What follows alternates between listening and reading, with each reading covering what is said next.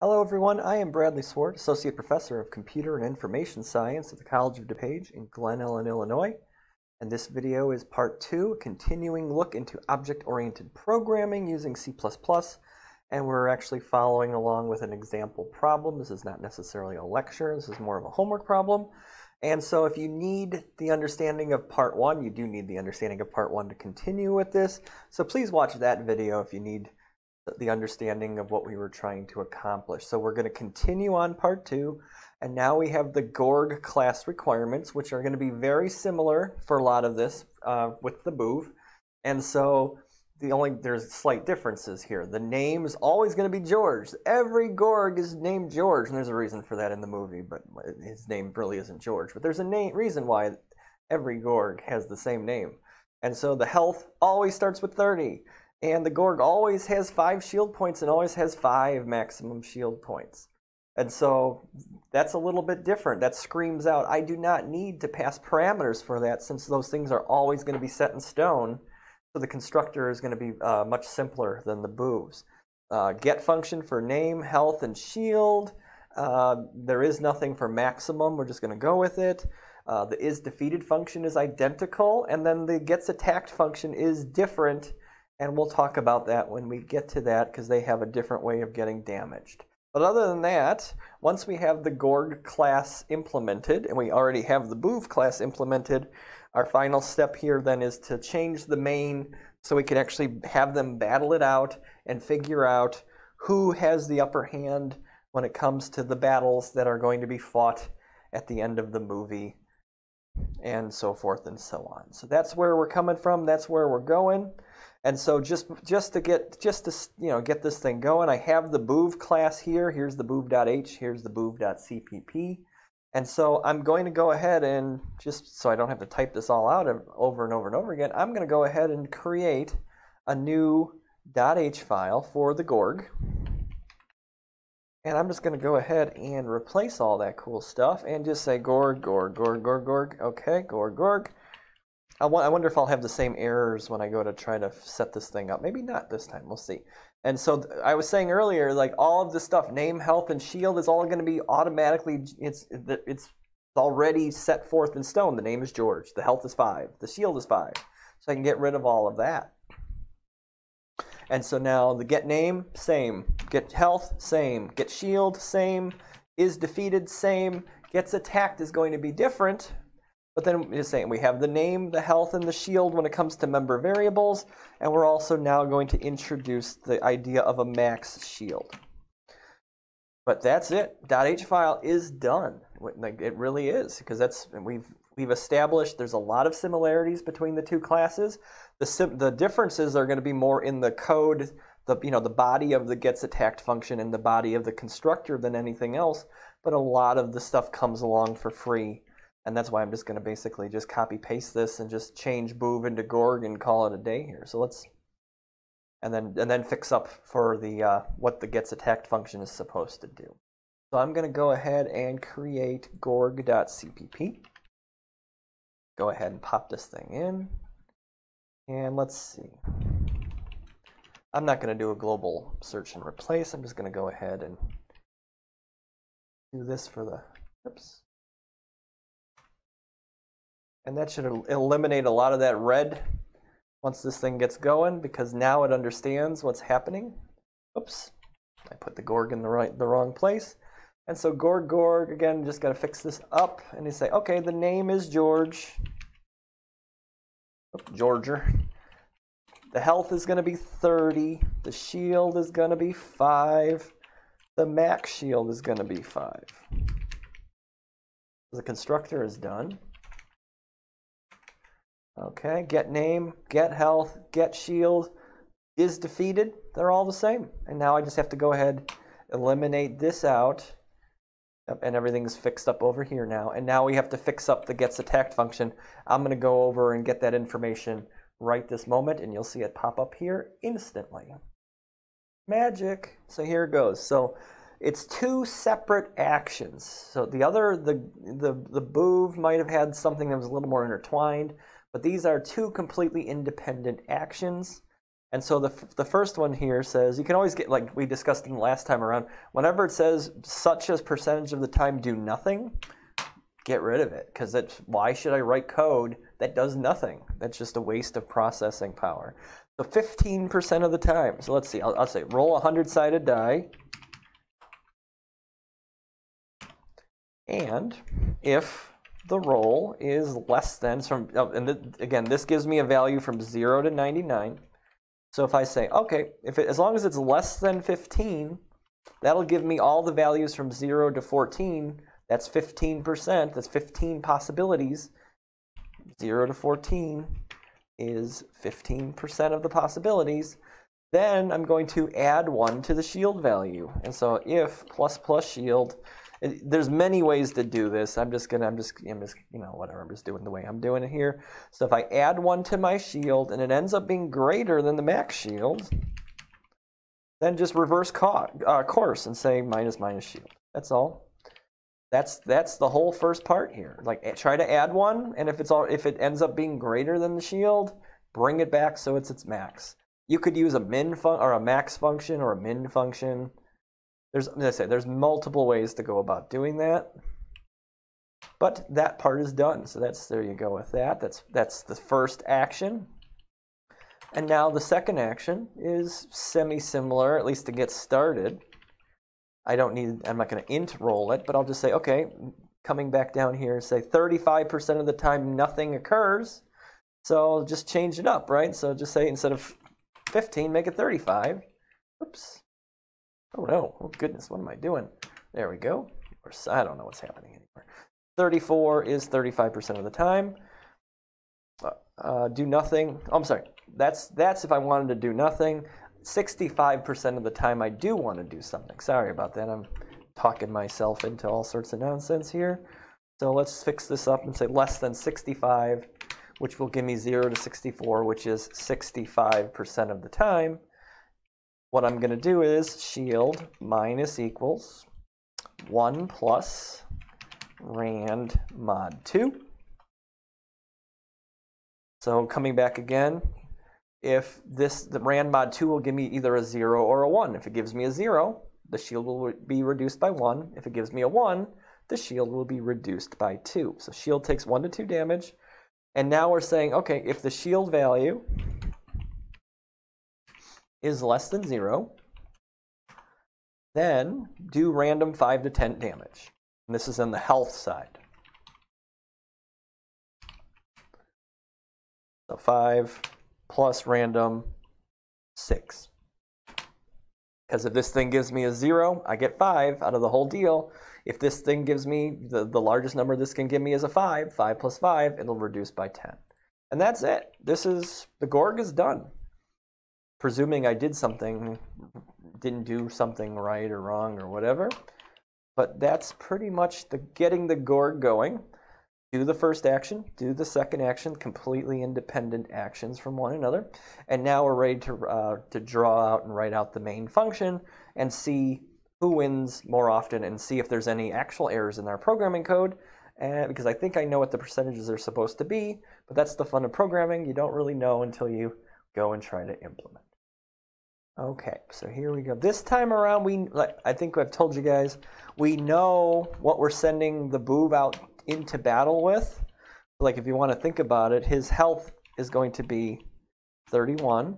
His shield is going to be 13. That's what we're that's the givens from that's the answer to part 1 of this video series. And so how many simulations? We'll still run the million simulations. This time around, like round survived is going to be replaced with Boov wins. And then if you want to have Gorg wins as well. Okay. And so we're going to have a million, one million simulations. I have my Boov. I'm going to need my Gorg. Uh, I'll call him George. And then what you see here is this gives me an error because I don't have the include file up here. And then what's funny is you think this works. Everything screams out. But what happens if I do George Dot. See, nothing comes up. And it gives me an error and it tells me that expression must have class type. This is one of those weird little C++ things. This is a function prototype. This is not an, a declaration, a construction of an object. This is, because in, with three parameters, but this is not. So if you want to set it up, you do it like this without this. And now I can actually say George dot. It's just a syntax thing. See how everything comes up now? And I don't need to, but I don't need to pass in any parameters, remember, because everything is going to be generated automatically in the constructor, the name, the health, the shield, and the max shield. Okay, so there we go. We've got that going for us. So every time around, we have a new Boov object, we have a new Gorg object, and now we just have to continue on and say, well, either one of them, and there's, of course, again, there's many different ways to make this thing work. And so while both of them are not defeated, so this will fall through, that will finally kick out of this while loop when one of the two of these guys has been defeated. And so just to say, we all we, we said that the the George character always gets attacked first. That's one of the rules according to the, the everything we're trying to do. So George gets attacked if George is defeated equals equals false, then we do the O attack. And again, there's many ways. You could use breaks, all sorts of crazy nonsense. Good ways and bad ways to do this. But George gets attacked, and as long as he doesn't get defeated, we whack him and we whack O. A lot of students seem to think there's ties, there's no double knockouts, because you, know, like if I attacked you, why would I die, right? So, and I killed you. He's like, I defeated you. Sorry, we're not killing anybody. We defeated you. But you get the point. So oh, uh, George gets attacked. As long as he's still around, he attacks O, and then we come back around. And this is just to make sure, I suppose, that George isn't defeated somehow before we get started at all. So it, the loop is pretty well uh, maintained here. I think that's all we need. Again, I'm doing a lot. Normally I would compile and run, compile and run, but I'm doing a lot here. So there's there's a lot of points of failure. There's nothing wrong with compiling every so often and uh, some you know depending on the stuff you can't really do that in the real world because sometimes it takes minutes for things to compile but right here everybody's happy so now here we go. Let's finish let's figure out what's going on here. So let's see the number of boov per, let's see boov percentage. Boov percentage is equal to the number of oh duh. When we kick out of here always ahead talking and thinking and doing when I kick out of this loop only one of the two of them will have been defeated. Because that was the whole point of this. So I can say, when I come out of here, I can say if George is defeated, then increase the Boov wins. It's getting dark in here, so it's getting hard for me to see the keyboard. I'm not a hunt and pecker per se, but it is getting hard to see the keyboard in here. So one of the two of them. So if George is, if George was defeated, the Boov wins. But if he wasn't, then Boov had to have, the Boov had to have won. I'm sorry, the Gorg would have had to have won, because George is not defeated, and the Boov was defeated. So that's perfectly fine. And again, this has to be outside of the while loop because we have to reach a conclusion before we fall through and determine one of the two end cases. All right, now I can come down here and say, okay, Boov percentage is equal to number of Boov wins divided into, and then so this is where using this thing, this thing is a const int number of simulations. So I can go ahead, oops, oh, Boov, capital W, uh, static cast it to a double because it's an int, double. There we go times 100 give me some percentages here. And I'm not going to I'm not going to uh, presume that I know anything about this. I'm going to do the calculations to make sure. I'm not because I, I could just say 100 minus, but I'm like, well, what if I did the calculations wrong? What if it doesn't add up to 100? I, am you know, I'm false, falsifying my way into thinking that uh, that is true. So Gorg wins. Okay, that's it and cout. I'm just going to keep it simple. I'm not going to write. I would be more detailed if I was doing this for real rather than just a tiny example here tiny example. I'm downplaying everything we've been doing then by saying that.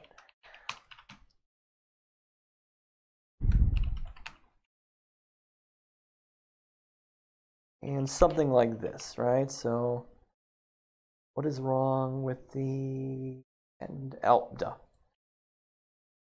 I'm not using namespaces, not the professional way to do things. So there we go. Let's see what happens. Hit the magic run button Prepare yourself for errors. Build, rebuild. Holy moly, it, it compiled and linked. Oh boy. Here we go. I'm thinking 54, 46 are the percentages. Let's see what pops up. Hey, look at that, right around 54 and 46. So my my initial uh, results have been verified by me doing this a second time. Many students have agreed with me on this assignment, and some have not. So it's just I have not heard anybody claim that this is an incorrect result. So I'm pretty good with this. I, I can't believe the Boov actually has a better chance of winning than the Gorg because we've been training, we've been getting ready for this moment. Otherwise, oh my goodness, right? It would not. So again, this is how like you know this isn't even taking into account number of rounds or anything like that. They're just fighting off against each other. And remember from the part one, the Boov can withstand 12 rounds. And so therefore, that's slightly better than what the Gorg can withstand. The Gorg can withstand slightly, maybe 11. And so there's your, basically this is like a, the, this was a craps table. This is betting on a six or an eight rather than betting, you know, betting against the seven. It's a, it's a five to four odds, basically five out of nine to four out of nine chance probabilities of this working. All right, so, and of course, it's never going to be precise. Every time I run this, it's going to be slightly different because of, because that's what randomness is, right? It's like, but, but, but I do know that over time, and over more and more simulations, the law of large numbers tells me that the percentages will get closer and closer to the real percentage. And you say there's no there's no easy way to compute this rather than just simulating over and over and over again.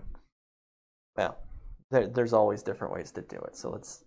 But anyway, so that covers part two. So to say, we wrote some code to handle the wins and the losses for each of the people, the each of the combatants. We've printed that all out. We figured out here's the Gorg, very similar structure here to what the Boov has when it comes to the implementation and the header. Like we barely changed anything for a lot of this stuff, and this this gets attacked function was uh, wasn't yeah, maybe it's not so challenging now that we're kind of running through it a little bit more, but you can see that it definitely uh, definitely got us to where we think we have the correct answer. I put in way too many, uh, way too many uh, things, but it'll come up. Hopefully, it'll come up while I'm talking and finishing up our discussion here. So that covers part two. So when uh, part three, up oh, there we go. It's the same, you know, 54 to 46. I mean, we it only changed by like two or three hundredths of a percent either way for it running this the simulation with many more simu- uh, many more rounds. But anyway, so the, the end of part two. So now part three, what you know, the final part of this is going to be what we call refactoring our code. We're going to take the Boov, we're going to take the Gorg, and we're going to combine them, create a base class. We're going to teach you inheritance, polymorphism, and virtual functions and that sort of thing. And we're going to teach you how to create a competitor class that's a base, and then the Gorg and the Boov will derive from that and basically fix everything up and have everything work exactly the same.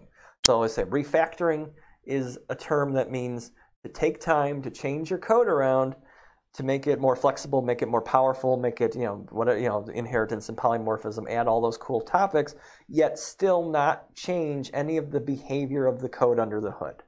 So the end of part three will the this will look exactly the same. We'll get the same numbers if we did it right, but the code will look completely different. We're going to add another class and rework the main function. We're done, well, say we're done with the implementation side. We're going to have to change up the way we implement stuff on this end with virtual functions.